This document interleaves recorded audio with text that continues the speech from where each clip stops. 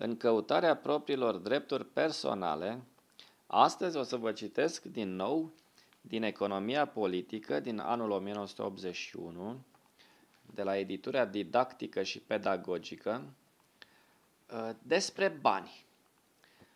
Uh, despre banii de pe vremea ailaltă, de pe democrație directă, socialism, cum vreți voi să o luați.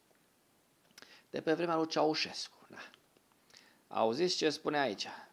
La paragraful 3. Banii și funcțiile lor în economia socialistă. Așa. Existența obiectivă a producției de mărfuri implică în mod nemijlocit existența banilor. Dedublarea produsului muncii în marfă și bani este, așa cum menționa ca Marx, o lege a exprimării produsului ca marfă. Bun. Ca urmare a procesului istoric al dezvoltării schimbului, funcția de valoare de schimb sau echivalent valoric al tuturor mărfurilor a început să fie îndeplinită de bani. Rolul de bani l-au avut diverse mărfuri, ca în final să se stabilească la metalele prețioase, aurul și argintul. Banii sunt o marfă, însă o marfă deosebită care a căpătat și o valoare de întrebuințare specifică, aceea de a fi echivalent general, echivalent general al celorlalte mărfuri. Deci, odată cu apariția banilor, întreaga lume a mărfurilor se scindează în mărfuri ca atare și marfă bani. Toate mărfurile se schimbă între ele prin intermediul banilor. Își exprimă valoarea în bani, adică expresia bănească a valorii purtând denumirea de preț. Bun. Îndeplinind un rol social, acela de a exprima relații economice între producătorii de mărfuri, participanți la schimb, banii pot servi relații social-economice fundamental deosebite – în calitate de capital, sunt un mijloc de exploatare a forței de muncă. În socialism, ei nu se mai pot transforma în capital. Sunt un instrument al construcției socialiste și comuniste. Că vrea să-ți spună că, domnule, numai schimb. E non-profit și echivalentul la marfa ta e echivalentul cu marfa mea. Bun, mai departe.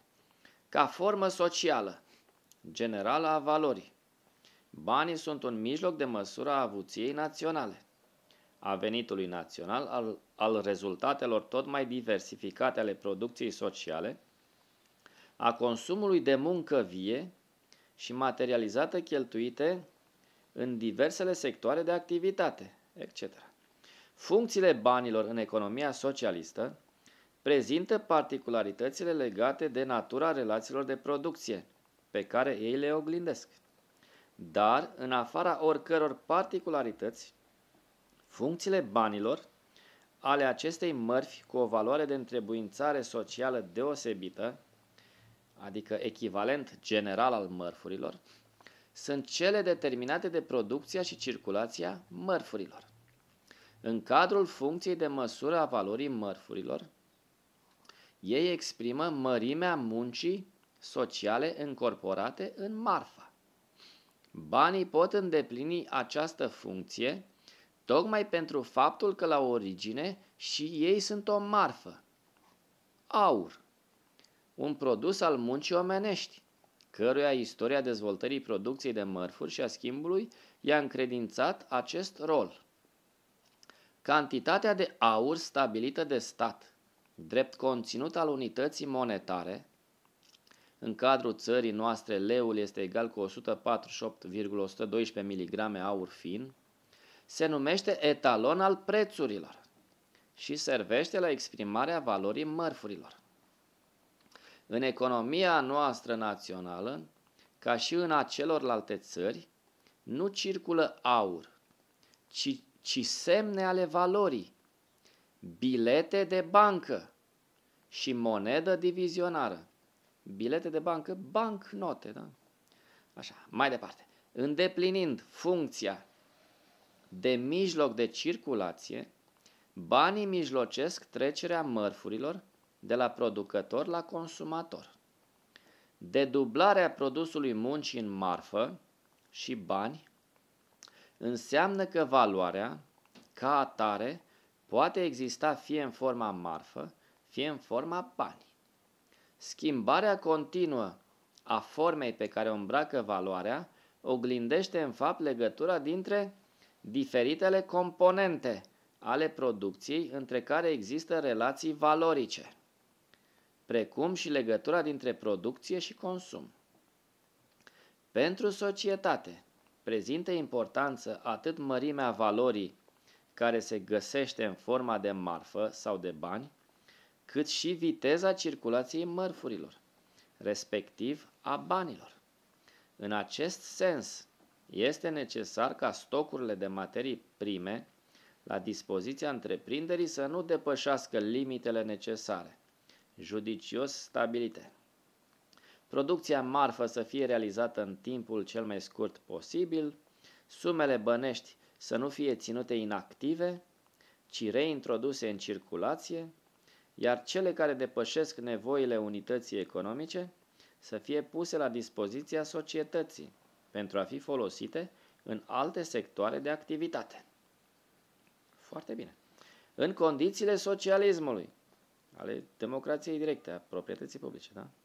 cantitatea de bani necesară circulației este stabilită în mod planificat, în funcție de suma preț prețurilor mărfurilor și de viteza de circulație a banilor. Totodată, suma de bani aflată în circulație, în numerar, este mult redusă, ca urmare a faptului că în schimbul între întreprinderile socialiste se înfăptuiește fără numerar. Băncile, ope, băncile operând cu sumele respective în conturile participanților la schimb și eliberând numerar numai în limitele strictului necesar. Deci Banca Națională își regla pe acolo și în departamente banii. Fabrica n-avea decât strictul necesar, da? Ca să nu se întâmple minuni. Emisiunea de bani în concordanță cu nevoile circulației și numai în cazul când există acoperirea în mărfuri, citim mai departe, da? Retragerea din circulație a sumelor care depășesc nevoile acesteia feresc în economia țării noastre de procesele inflaționiste și asigură monedei o puternică stabilitate. Este tocmai ceea ce caracterizează leul nostru, ca rezultat al unei politici monetare științifice.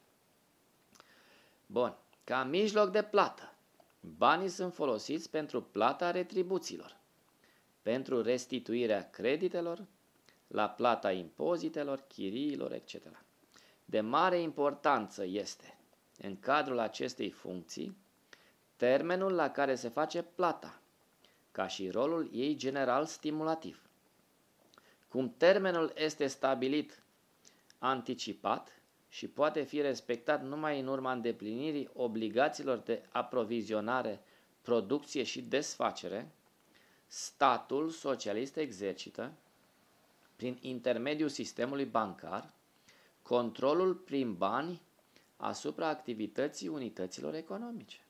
Foarte bine.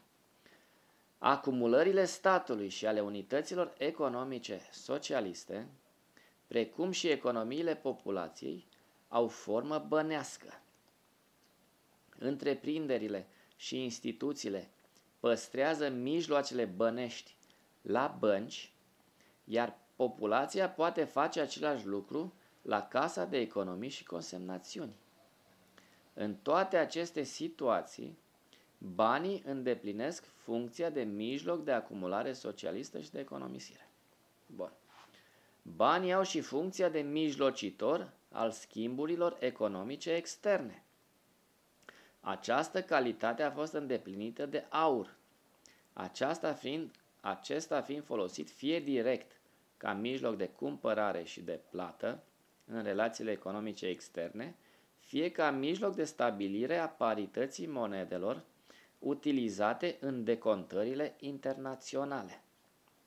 În condițiile actuale, în relațiile economice internaționale nu circulă bani de aur, ci numai valute.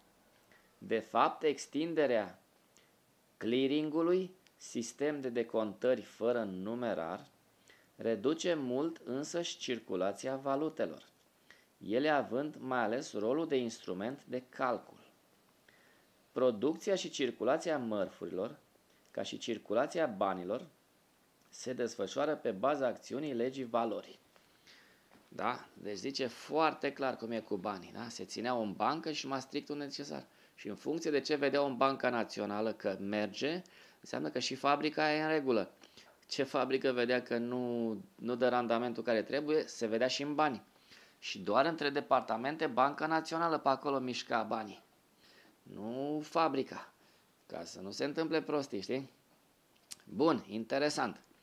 Mai departe, da? Banii care erau aici și să ferească economia de procese inflaționiste, se mai retrag niște bani din circulație, că se mai întâmplă, domne, contribuții, retribuții, unul mai vinde ceva, unul mai scoate de la cec și trebuie să scoși banii aia. Și în capitalism e șust asta, nu e o problemă. E da, din cu acela socialism e mai științifică faza, că le vezi, ai predictibilitate la economie și la lucruri și poți mai ușor să tragi banii din economie și să nu faci inflație din aia, adică prea mulți bani în, în circulație. În fine, plus că chiar dacă sunt mulți bani în circulație, ă, astea, produsele de stat, tot așa se dau la aceeași valoare și totuși se mai reduce din niște probleme care la capitaliști sunt de un dezastru incredibil. Bun. Gândiți și voi lucrurile astea ce le-am citit ca să vă dați seama de niște lucruri. Bun, avem aici punctul 4. Mai departe.